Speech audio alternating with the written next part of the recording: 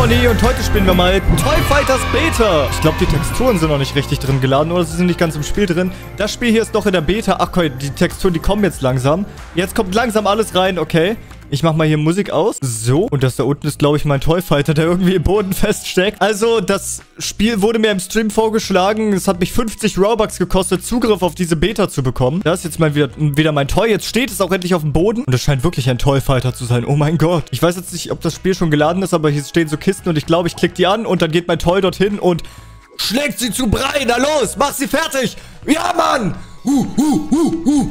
Zerstöre sie. Okay, es ist also das Pet-Simulator-Prinzip, dass man halt Pets hat, in dem Fall Toys, beziehungsweise Toy Fighters, auch mit Animationen, dass sie kämpfen, die dann halt auch Sachen kaputt machen. Verstehe, und ich sammle direkt Gems und keine Coins. Es gibt Soundeffekte und alles. Das ist doch erstmal schön. Das ist mal ein schönes Spiel. Ich gehe mal auf Toys. So, und da sehe ich hier mein Starter-Toy. Das ist die Plant. Level 1. Hat ein cooles Schwert. Kann ich den drehen? Ja, ich kann den drehen. Oh mein Gott, ich kann ihn drehen. Das ist ein schönes Menü. Das gefällt mir. Undercrip Oil, Crip Best gibt es. Man kann man Swords auswählen. Ich habe hier das Level 1 Sword. 113 Schaden macht das, denke ich. Weiß ich nicht. Dip bedeutet wahrscheinlich rausgehen. Unequip Fighter Loadout. Und hier kann ich sein Loadout anpassen. Verstehe. Das bedeutet, man hat nicht nur Pets, sondern man kann seine Pets auch noch ausrüsten. Man kann fusen und sie auch löschen. Ich sollte mein Pet vielleicht nicht, oder mein Toy vielleicht nicht deleten. Ey, weiter angreifen wenn ich nur eins habe. So, too poor, too poor. Okay, die kann ich mir nicht leisten. Wie viel kostet mich der Spaß? 54 Gems nur. Okay, dann werde ich darauf sparen, bis ich mir hier was leisten kann. Da kann ich dann. Ey, was sind das denn für Toys, die ich mir holen kann? Das sieht interessant aus. Das sieht wirklich interessant aus. Wenn ich auf Tester drücke, steht da Tester-Panel. Thanks for testing, bro. Please help me find bugs. Feedback is appreciated. Report bug, leave feedback. Okay, Bugs habe ich bisher noch keine gefunden. Nur so offensichtliche Sachen, die bisher noch nicht fertig sind. Die würde ich nicht als Bug darstellen. Wie zum Beispiel halt, dass die Sachen lange brauchen zum Reinladen. Ähm, dann muss er halt sein... Den Ladescreen muss man in Roblox leider immer am Ende richtig feintunen.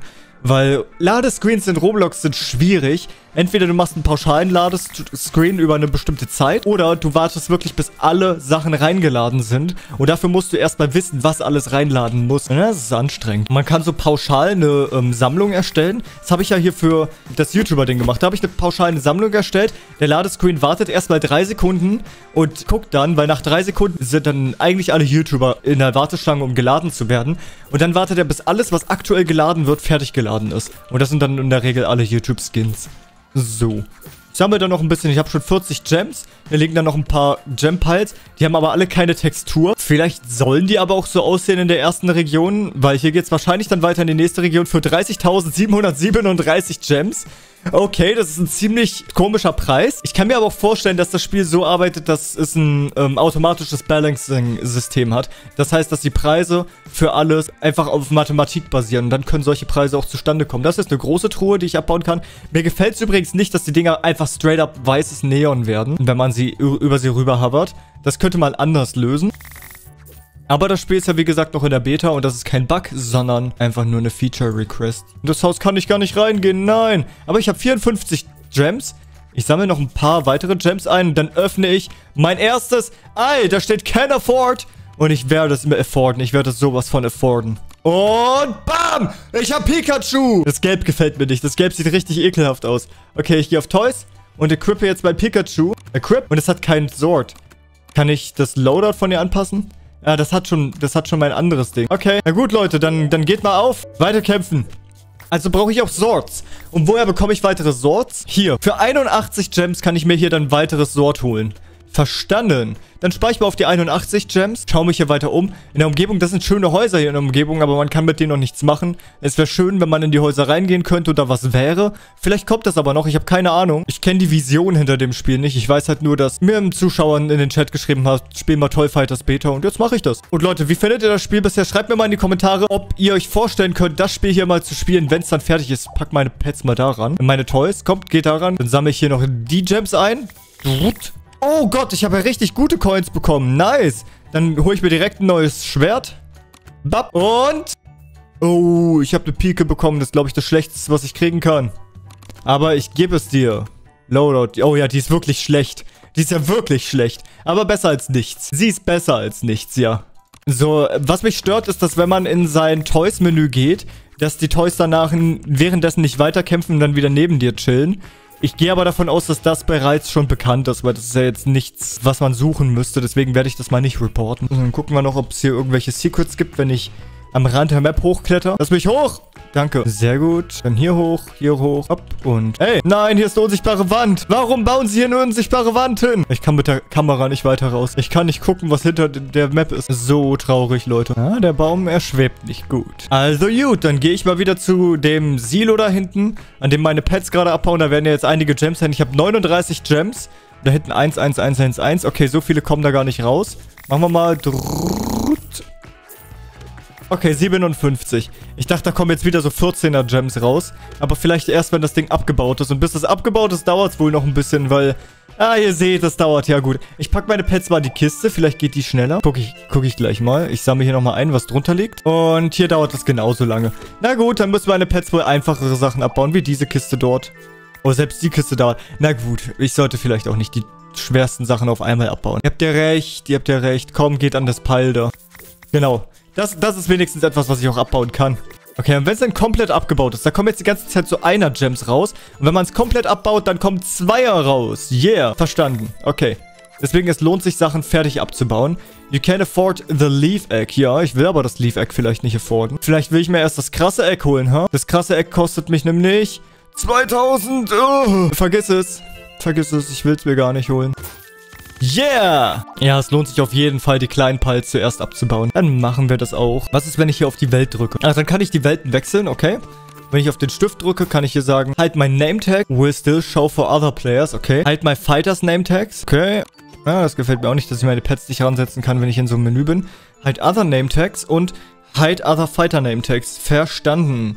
Dann kann ich hier Color einstellen. Ach, ich kann mein, meine Lieblingsfarbe auswählen. Ja, mein Name-Tag ist natürlich gelb, weil ich bin Conny. Ja, das ist nicht das richtige Gelb. Ja, richtiges Gelb ist schwierig.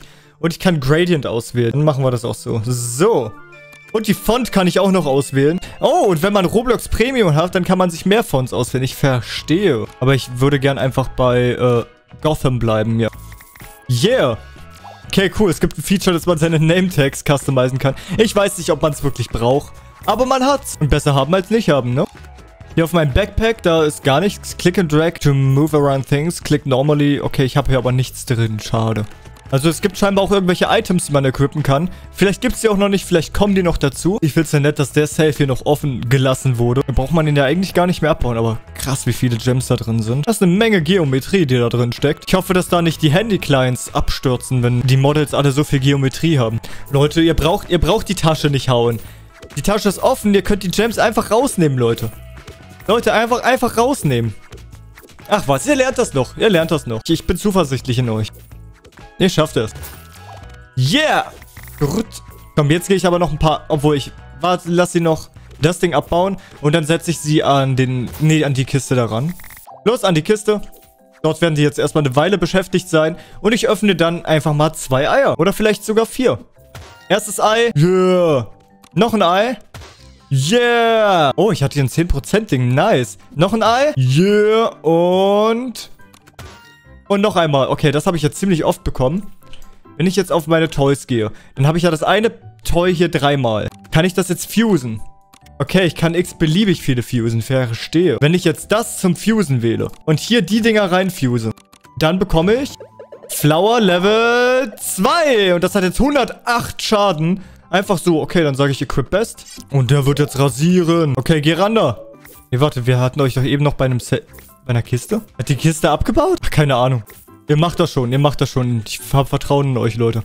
Ach, hier ist eine Crafting Station. Ich dachte, das wäre was zum Abbauen. Ich klicke mal auf Craft. Marmalite, Magnet oder Frostite. Ah, und dann... Ah, verstehe. Und wenn man was abbaut, dann können da auch theoretisch so andere Kristalle rauskommen. Und mit denen kann man sich dann Sachen craften. Ich lasse meine Pets mal das Ding da abbauen, weil ich vermute, dass man da vielleicht die Items zum Abbauen rausbekommt. Vielleicht, hoffentlich. Zumindest kamen da jetzt noch keine Gems raus beim Abbauen. Vielleicht ist das was. Oh mein Gott, Leute, ich äh, reveale alle Secrets von dem Spiel. Ja, Mann! Ich habe jetzt einen. Ich habe jetzt einen. Und ich brauche davon einige. Okay, Leute, wenn man in dem Spiel dann diese Kristalle hier abbaut, dann bekommt man auch Kristalle. Steht leider nicht, wie die heißen. Ich habe einen roten Kristall. Und jetzt habe ich einen noch roteren Kristall. Okay, dann werden wir das machen. Jetzt habe ich schon drei davon. Ja, Mann. Ja, Mann. Ah, nee, von denen brauche ich neun. Das ist gut, dass ich da schon drei habe. Ihr macht das, Leute. Ihr könnt das. Sehr gut. Sehr gut. Jetzt mal an den daran. Okay, das könnte ein bisschen dauern, den abzubauen. Na gut, dann gehen wir doch daran. Was sind das ja eigentlich für Sachen? Was hat dieser Pilz für eine Textur? Ich muss sagen, diese Surface Appearance, dieser, sagen wir mal, Glow, der da drauf ist, der gefällt mir nicht. Ohne den fände ich das Ding hier noch viel krasser. Aber so finde ich schon, what? Na gut, sammeln wir mal ein, was da so rauskam. Oh, ich habe fast genug für meinen ersten Marmarite. Wobei, ich glaube, das hier könnte ein Marmarite sein, oder? Ja, okay, baut weiter ab. Ich mache meinen ersten Marmarite. Ich habe das Gefühl, das ist ein Marmarite. Okay, ich crafte mir welche davon. Düpp. Düpp. Okay, das ist tatsächlich ein bisschen anstrengend so. Also das Crafting-System könnten die anders machen. Da muss ich jetzt alles rein drag and droppen, das gefällt mir nicht. Aber ja, okay, das sind dann wirklich diese Steine. Verstehe. Und dann könnte ich irgendwann einen Magnet daraus machen, wenn ich davon mehr und dann von den weißen... Ah, die weißen kriege ich sowieso nie. Aber so kann man sich auf einen, Ma einen Magnet... Aber so kann man sich auf einen Magnet hinarbeiten. Das ist schon mal etwas. Ich würde aber sagen, ich farme jetzt weiter Coins, weil das Farben von diesen Edelsteinen, das dauert jetzt zu lange. You can afford the Leaf Egg. Yay. Das werde ich mir auch einmal holen, damit mein bestes Pet jetzt auch mal ein Schwert hat. Hey, weiter abbauen. Yeah, schon wieder so ein schlechtes Teil. Jetzt haben wir hier nochmal alles ein. So, wenn ich auf Equip Best gehe. Ah, dann sind auch automatisch die besten Schwerter equipped. Das macht es natürlich viel einfacher. Gut, baut mal die Kiste da ab. Warum steht da eine 1? Swords? Was ist mit dem Sword? Ich weiß es nicht. Das, weil das neu ist, oder wie? Okay, ich hab's gesehen, Leute. Haut die Kiste weiter ab. Okay, Leute, ich sehe aber schon die Probleme an dem Spiel. Erstens, das Farmen dauert sehr lange und man möchte ja nicht so lange farmen müssen in so einem Spiel. Und ich habe ja so gerne in den letzten Tagen immer Collect All Pets gespielt. Und bei Collect All Pets ist ein großer positiver Teil, dass die Pets alles automatisch machen. Und hier muss ich die wieder hinschicken. Und deswegen fühlt sich das für mich an wie ein Step backwards, dass die äh, Dinger nicht automatisch alles abbauen, was sie können. Aber wer weiß, was aus dem Spiel wird. Vielleicht wird das ja noch richtig zugeballert mit Features und äh, rebalanced und wird dann richtig viel Spaß machen. Ich bin gespannt auf das Release von dem Spiel. Ich kann mir jetzt das Leaf Egg leisten, das ist schon mal schön. Ich will jetzt aber die Kiste abbauen. Lass mich die Kiste abbauen. Bam! Oh, da kommt vieles raus. Ich habe 100 Gems. Und jetzt habe ich 186 Gems. Okay. Jetzt baut mal hier ähm, das da ab. Viel Spaß. Und dann öffne ich noch ein paar Eier. Bam. Das ist gut. Oh, was war das? Ah, okay, das war der hier. Ich dachte, das wäre ein krasser. Und, ah, den, den brauche ich jetzt nicht wirklich. Na gut. Ich gehe dann mal wieder auf Toys, dann auf Equip Best. Und ich kann alle equippen, deswegen lasse ich die jetzt auch alle equipped. Weil besser viele Pets als wenig gute. Und jetzt baut! Zerstört den Safe, meine Sklaven!